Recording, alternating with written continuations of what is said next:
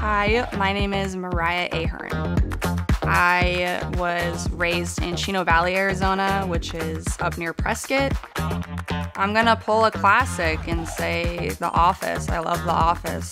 I'm the Dwight of Manley Creative. Identity theft is not a joke, Jim. For hobbies, I just draw more.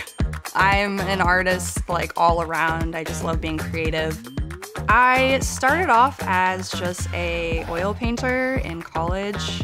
I have a almost nine-year-old dog named Duncan, short-legged, long body boy, and I love him. He's the best dog in the world.